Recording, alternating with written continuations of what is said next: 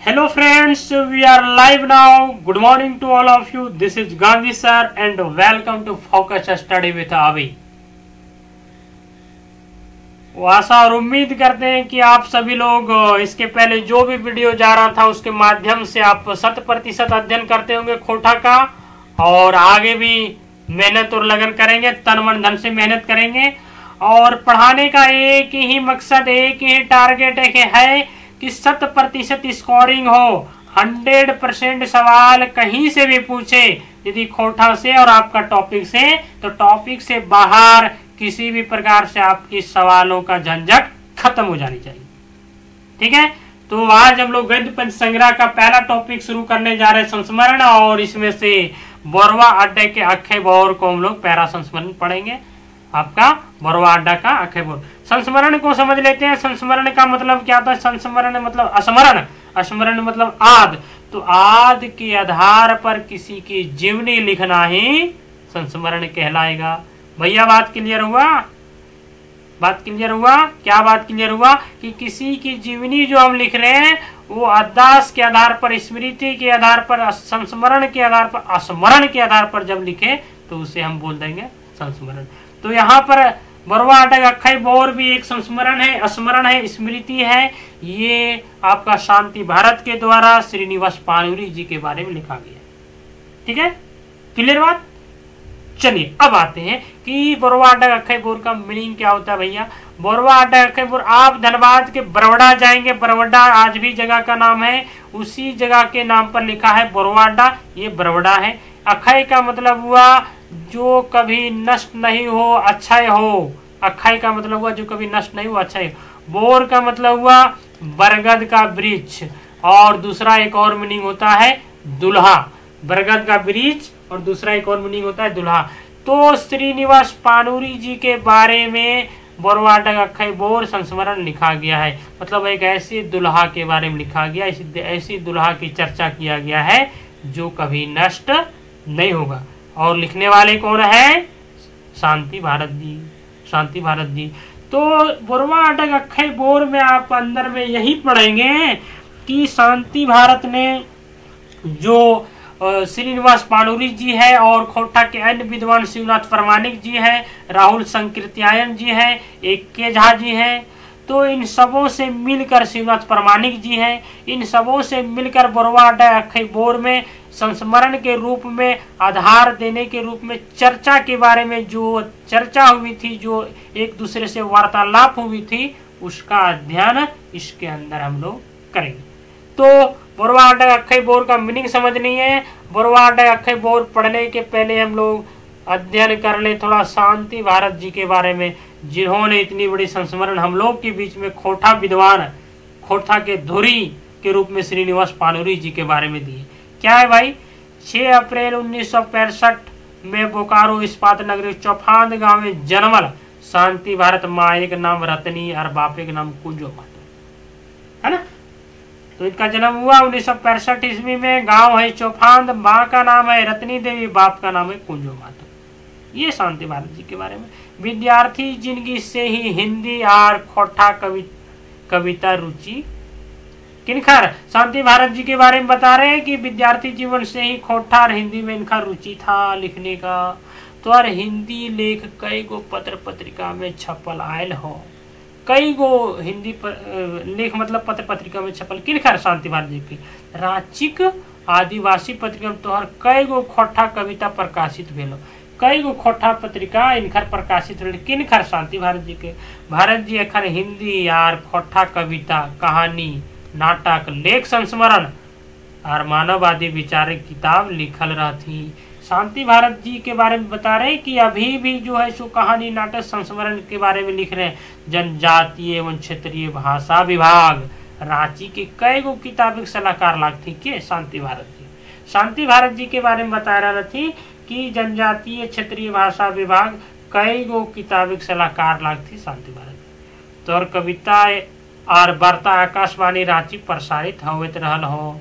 रांची आकाशवाणी से इनका जो कविता है और जो खोठा में वार्ता हुई है, वो प्रकाशित होता है। सामाजिक और सांस्कृतिक कर्म में तोहर बड़ी मधुर सहयोग। किनखर?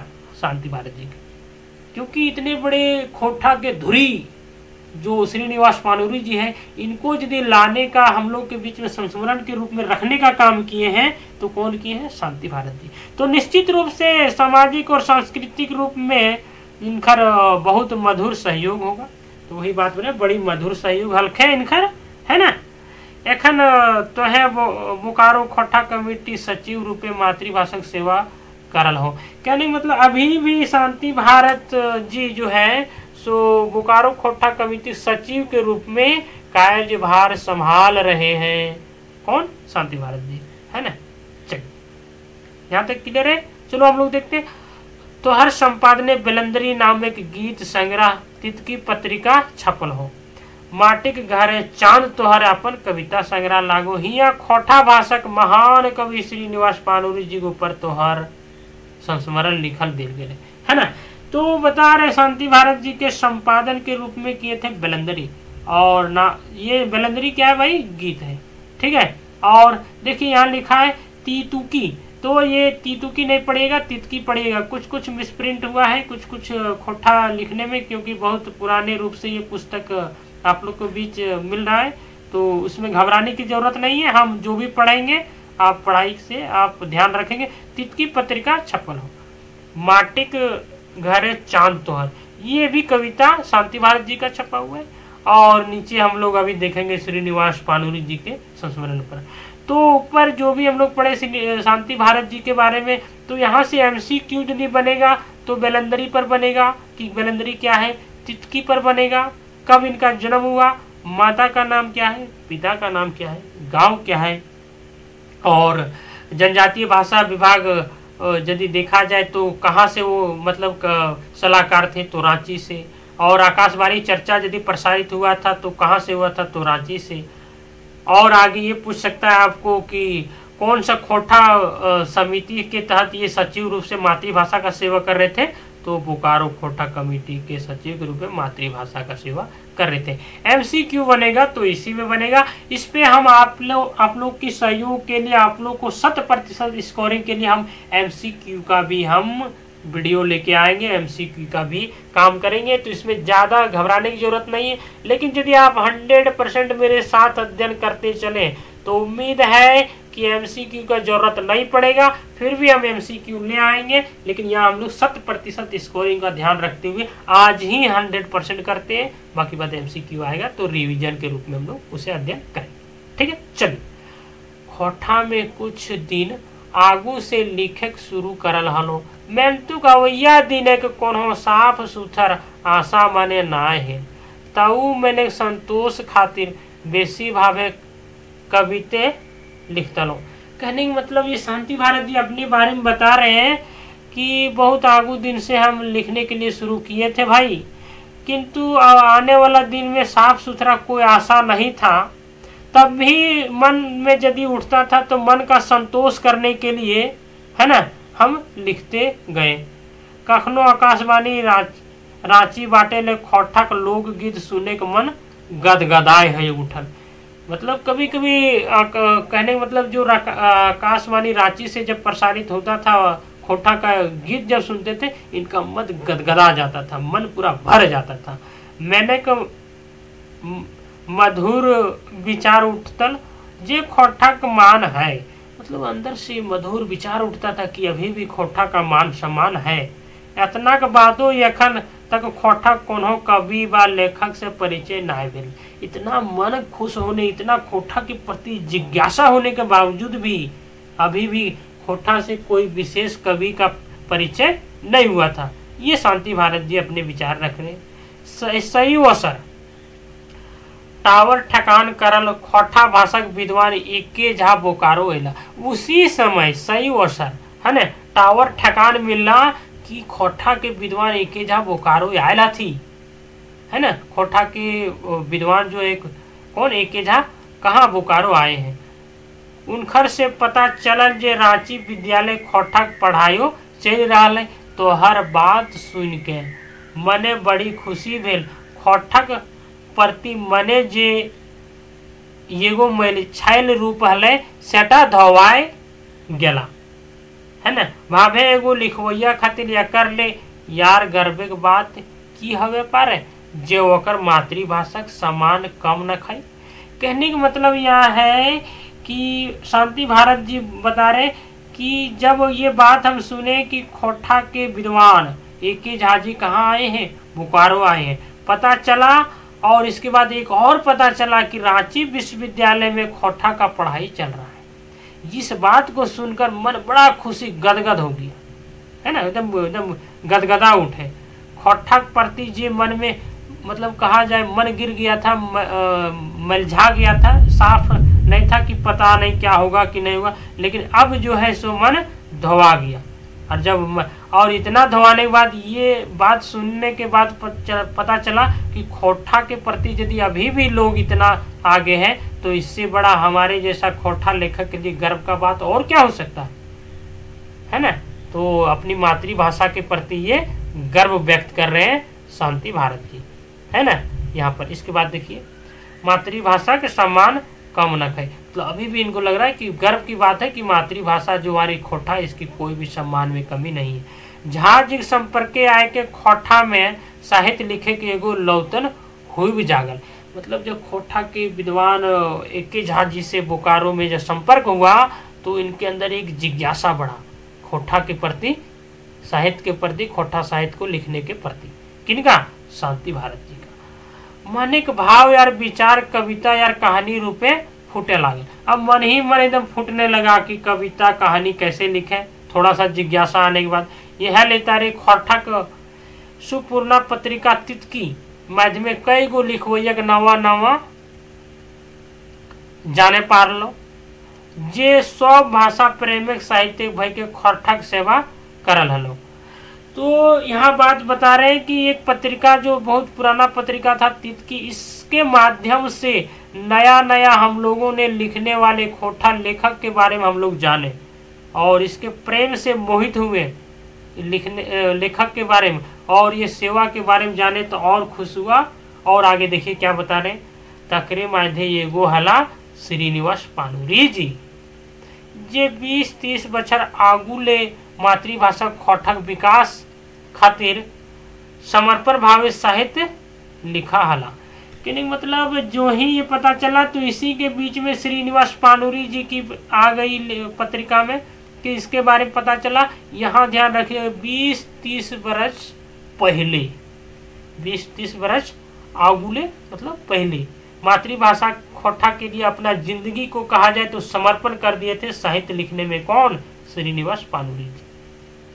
से समय नवजका मानववादी विद्वान राहुल संकीर्त्यान संग खोठक विकास लेतारे पानुरी जी कई बेर चिट्ठी पत्री भेल हल सही समय में कह रहे हैं कि श्रीनिवास पानुरी जी और मानववादी विद्वान जो आपका है, राहुल संकीर्त्यायन जी, के संग में खोठा विकास के लिए कई गो चिट्ठी पत्री एक दूसरे के बीच में खोठा में लिखे थे। ये बात उसी समय की बात है। है ना? चलिए आगे देखते हैं। कई गो चिट्ठी तो तितकी पत्रिका छपलो हल जकर में राहुल संकीर्त्यान अपन संदेश खोठा मधुर कामना कर थी कई मतलब चिट्ठी पत, पत्री में कहा जाए तो तितकी पत्रिका में कई चिट्ठी छपा था। उसमें राहुल संकीर्त्यायन और श्रीनिवास पानुरी जी के बीच में जो मधुर वार्तालाप हुआ था जो संदेश गया था वो छपा हुआ था। कामना करण थी। बहुत अच्छा कामना इसमें से बताया कि इस पत्रिका में ये कामना था कि खोरठा जो है, सो हम लोग का मातृभाषा है, ये निश्चित रूप से विकास करेगा। ये कामना उस पत्रिका में चर्चा किया गया था। अब आगे हम लोग देखते हैं। अब तो मने एगो विचार हिलोर मारे लागल, जे श्रीनिवास पानूरी जी से कदिया और कैसे मिला आहा, अब मने एगो हिलोर मारने लगा कि श्रीनिवास पानूरी जी से कहिया मिले। मैं तो कुछ दिन एगो बेस मौका आयला शिवनाथ प्रमाणिक संपादन रूसल पुटुस नावे के एगो पद संग्रह छापे के विचार उठला और उन्नीस के दिसंबर मासिक एक दिन प्रमाणिक जी आर बंसी जी के संगे पांडुलिपि लेके हम हूँ, बोरवा आडा पहुँच लो देखिए, यहाँ पर मन था कि कब हम जाकर के श्रीनिवास पालूरी जी से मिले। मन में हिलोर मार रहा था। कि मिलते हैं, क्योंकि खोटा के प्रति, अपनी मातृभाषा के प्रति, विकास के प्रति, अंदर में जो जिज्ञासा था इसके प्रति। किंतु एक दिन बेस मौका मिल गया, कब मिला?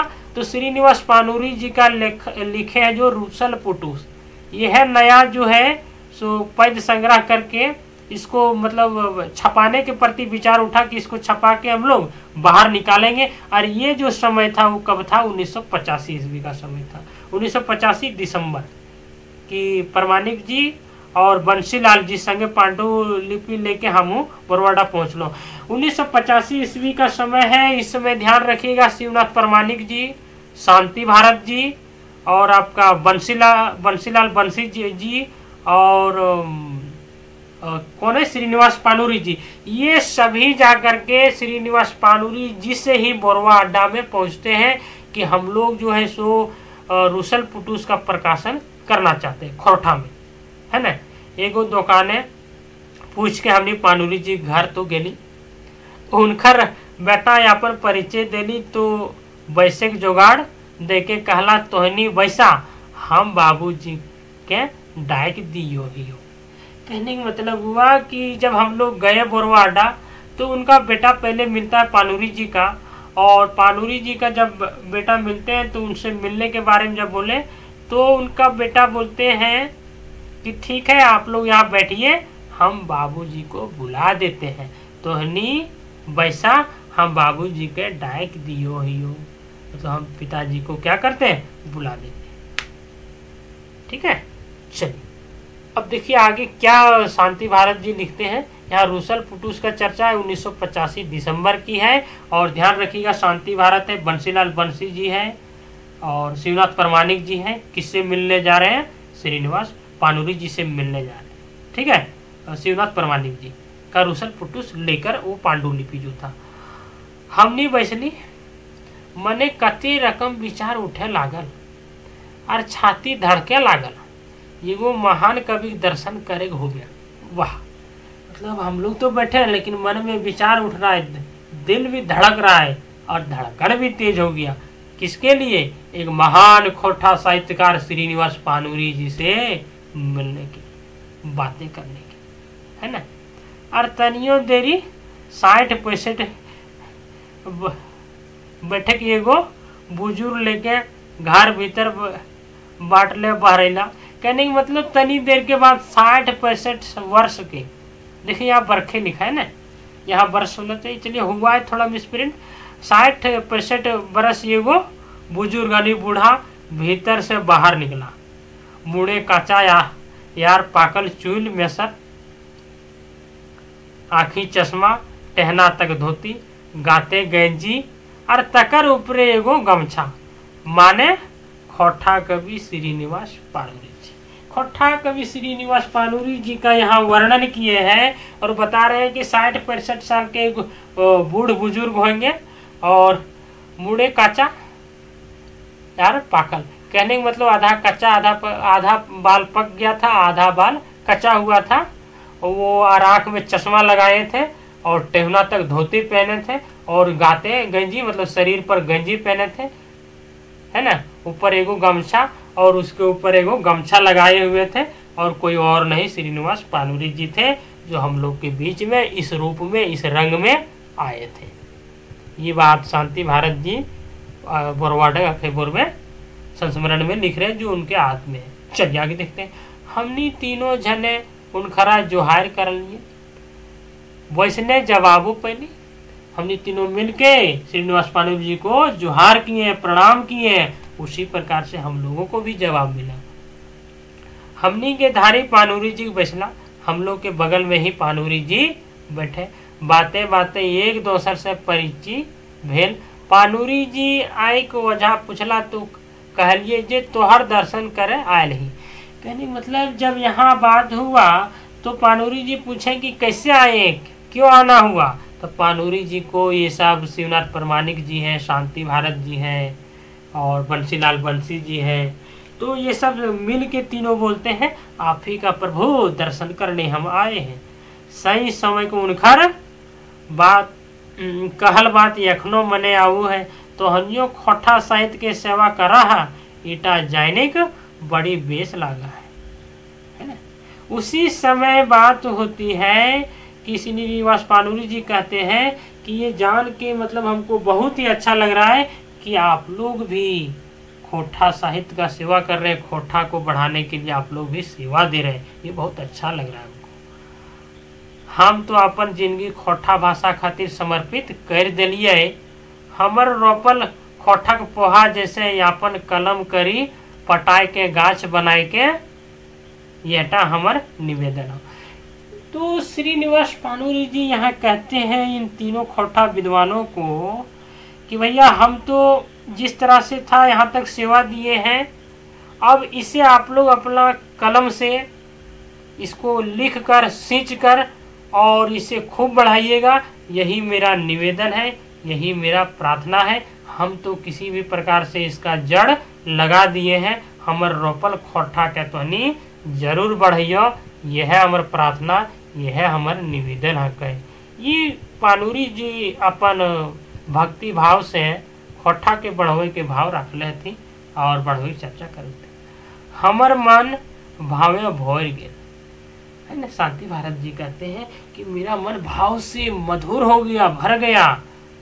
सोचलिए जे दिन खोठक भाषा की सेवा करलो, बादे पानूरी जी लौतन परिया से कते आशा है मतलब कहने का मतलब है कि पानूरी जी को कितना आशा है खोठा के प्रति की सेवा कर रहे आज कल तो दूगो कविता लिखने पारे लोग यापन के महाकवि से कम नहीं बुझते। मतलब पानूरी जी कितना दिन से सेवा कर रहे हैं और आगे बढ़ाने के लिए मतलब और किस प्रकार से लालायित है, उत्सुक है, जिज्ञासु है।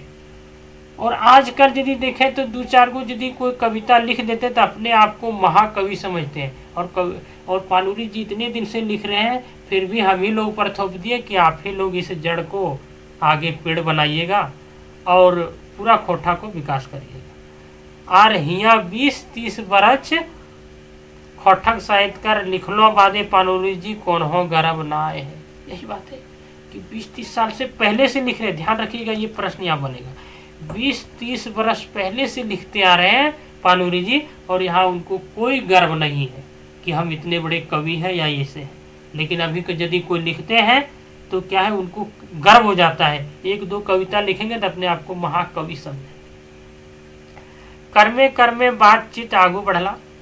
धीरे धीरे बातचीत आगे बढ़ा। जब पानी भले है ना? चाय पानी मिला, चाय पानी मिलजुल के बैठे, मान सम्मान मिला। इसके बाद देखिए क्या होता है। बोर गाछे के जुड़े, बैस के खोठक साहित्यिक सगरी हमनी उबू डूबू हवे लागली। कुछ सीखे खातिर यार, कुछ जाने खातिर। देखिए, वहाँ जो बैठे थे, वहाँ भी एक बरगद का पेड़ है। उस बरगद पेड़ के नीचे बैठे थे और इधर उधर भी वो सब ताके झाके लगे वो सब भी मतलब हुबू डूबू अपने अंदर से करने लगे, क्या है? कुछ सीखने के लिए, कुछ नया चीज़ खोठा के बारे में जानने के लिए? क्यों? क्योंकि खोठा का केंद्र, खोठा का साहित्यकार इतने बड़े बीस तीस वर्ष पुराने साहित्य सेवा देने वाले श्रीनिवास पानूरी जी है सामने, इससे सीखने के लिए। है ना? हमरा बुझेला जैसे तीस वर्ष तीस वर्ष खोठक अतीत आज मनुष्य रूपे हमनी नजदीके प्रकट भेल। कवि जी के नाम पालूरी जी से पूछले, कवि जी तो ही कते दिन से खोठक साहित्य लिखला है? यानी मतलब शांति भारत जी यहाँ बताते हैं कि इतने दिन की सेवा, जो तीस वर्ष से सेवा दे रहे हैं, आज मनुष्य के रूप में हम लोग के बीच में भगवान रूपी खोठा प्रकट हो गई। है ना? कवि जी के बात बताते कि नवे पानूरी जी पूछल थे कि कवि जी, आप कितना दिन से साहित्य लिख रहे हैं? ये पानूरी जी का मतलब पानूरी जी से सवाल किए कि आप कितना दिन से खोठा का साहित्य लिख रहे देखिए, आगे क्या होता है, इसमें खोटा में क्या पानूरी जी उत्तर देते हैं? तो है, ऊपर बाटे ताकि कहले मतलब बता रहे हैं कि पानूरी जी ऊपर देख के बोलते हैं, देखा, हम तो खोठा के तखने से साहित्य लिख लो, जखन के सोच लो नहीं हला। मतलब हम खोठा को तब से लिखने शुरू कर दिए जिस समय कोई सोचे नहीं होंगे कि खोठा नाम का भी चीज़ आगे चल के साहित्य के रूप में, भाषा के रूप में जानने का ज़रूरत होगा या फिर जाना जाएगा। उसी समय से हम खोठा लिखने शुरू किए। खोठा कविता लिखक जखन ककरो सुनतलू तो हमरो एगो पागल लोग बुझतला। मतलब जब पानूरी जी बता रहे कि जब किसी को जानकारी मिलता था कि खोरठा हम लिख रहे हैं और कोई सुनता था तो वे लोग हमको पागल समझते थे। वे लोग हमको पागल कहते थे पागल बुझता। मने देशक आज़ादी का अगुए ले हमर कलम चला मतलब उन्नीस जो स्वतंत्र भारत हुआ, उससे पहले से ही हम खोठा लिखने शुरू कर दिए थे। ये बात पानूरी जी बता रहे हैं। और जब लिखने शुरू किए थे, उस समय कोई सुनता था तो हमको पागल कहता था। ये पानूरी जी अपने बारे में बता रहे कि भैया, उस समय से हम लिखने शुरू किए हैं। है ना? उस समय से हम लिखने शुरू किए हैं। हम ही एगो दोसर मुँह के ताके लगली मतलब हमने मतलब बता रहे शांति भारत हो गया, शिवनाथ परमाणिक और बंसीलाल बंसी, ये तीनों आदमी एक दूसरे का मुँह देखने लगे, ताकने लगे। अरे बाप रे बाप, कति दिन से सेवा देव करो थी। तकर बाद पानूरी जी घर भीतर गला और अपन डायरी आन के, अपन कुछ कविता सुनवे लगला। कुछ में धार्मिक गाथा तो कुछ में मजदूरे किसाने ज़िंदगी के दुख दर्द। कविता के कुछ लाइन एखनो हमर मने है मेंतुक उगला लिखला रचना विषय जाए तो मोटा मोटी पानुरी जी की धार्मिक गाथा की कविता के रूप में बेसी लिखल आती कहने का मतलब हुआ कि जो पानुरी जी है, सो अब अंदर जाते हैं, घर का अंदर भीतर गेला और अपना डायरी ले आते जो लिख के रखे थे। और डायरी ला के कुछ कविता हम लोग को सुनाने लगे। उसमें से कुछ था धर्म का गीत और कुछ था किसानी गीत। है ना? कविता का कुछ लाइन अखनो हमनी के मने में आए थे मेंतुक यदि देखल जाए तो बात यहाँ बता रहे कि ज़्यादा से ज़्यादा विषय मोटा मोटी पानुरी जी लिखले जे हल थी वो केकरा मल थी धर्म के प्रति। है ना? ध्यान रखिएगा तो यहाँ पानुरी जी जब सुनाए तो वो सब सुन के एक ही बात में बताते कि सबसे अधिक जो कविता वो सब मतलब पानुरी जी लिखे थे तो वो धर्म पर लिखे थे। किस पे लिखे थे? धर्म के आधार पर लिखे थे। धर्म के आधार पर लिखे थे कि भैया सबसे अधिक यदि चर्चा कुछ हुई है वहाँ पर तो ये सवाल यदि यहाँ एमसीक्यू बनेगा तो ध्यान रखिएगा कि सबसे अधिक पानुरी जी किस पे लिखे थे? तो धर्म पर लिखे थे। ठीक है? हमने शुरुए ले मानववादी झारखंडी संस्कृति चाहता ही। से लेल भाई भगवान के ऊपर लिखल पानुरी जी की रचना आज समय मुताबिक ओते बेस ना बुझला। मन नाय मानल तखन उनकर से पूछलिए, कवि जी, धार्मिक बाटे तोहर यते टान का देखिए, यहाँ पर जो शांति भारत जी है, वो बात बताए कि हम लोग तो झारखंड में रहने वाले और झारखंड में रहने वाले जो है, सो मानववादी है। मतलब मानव के प्रति लगाव है तो धर्म के प्रति हम लोग का कम लगाव है, कम हम लोग धर्म को मानते हैं। इसीलिए हम लोग पानूरी जी से सवाल किए कि पानूरी जी हमें ये बताइए, आप धर्म के प्रति इतना क्यों लिखे हैं? इतना आपके धर्म के प्रति खिंचाव क्यों है? कभी जी, धार्मिक बाटे तोहर यते टान का है धर्म के बारे में आपका इतना खिंचाव क्यों है? तो देखिए आप क्या बताते हैं पानूरी जी? क्या उत्तर देते हैं? है ना?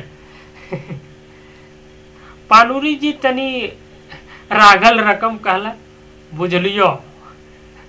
पानूरी जी, यहाँ थोड़ा गुस्सा गए और गुस्सा के बोले, हम बुझलियो तो नहीं बतिया की चाहे, बुझलियो, है न? तो हनियो जहाजिक डहरे डहराल है। हमरो उनकर मानववादी विचार बड़ी बेस लागे। मैं तो जखन हम साहित्य लिखा हलो, तखन क्यों विचार दिए वाला ना है? खोठा साहित्य भंडार बढ़वे खातिर हम मेघदूत और उद्भाषण करण के खोठा में उल्था कर लो कहने का मतलब यह हुआ पानूरी जी गुस्सा के बोलते हैं, हम समझ गए जो तो की चाहो। तू वह बात मतलब कहे जे झा जी मतलब डॉक्टर ए के झा जी जो है, सो भी मानववादी है। और उसी के रास्ते से शांति भारत और शिवनाथ परमाणिक जी चल रहे हैं। तो उन्होंने यहाँ कारण बताते हैं कि जब हम खोटा साहित्य लिखना शुरू किए थे ना बाबू, उस समय मेरे पास खोटा साहित्य लिखने के लिए कोई विचार नहीं था और कोई विचार देने वाले नहीं थे। तब जा कर के हम क्या किए कि धर्म की ओर पछ पकड़े। तो धर्म के लिए हमने मेघदूत को पकड़ा और उसी को खोरठा में क्या कर दिया? उल्था किया मतलब अनुवाद किया। है ना? उद्भाषण कन्न यहाँ लिखा। देखिए, यहाँ खोठा में ना कुछ कुछ लिखावट में थोड़ा है अपने स्तर पर, लेकिन जो हम पढ़ रहे हैं वो शत प्रतिशत है और हंड्रेड परसेंट आपको समझ में आएगी और हम इसीलिए हिंदी में भी वो काम करते जा रहे उद्भाषण करण होगा यहाँ। कर्ण जो लिखा है तो उद्भाषण करण। और मेघदूत का हम खोठा में अनुवाद किए ताकि खोठा का शब्द भंडार और साहित्य बढ़े। ये बात पानूरी जी बताते आगे देखिए।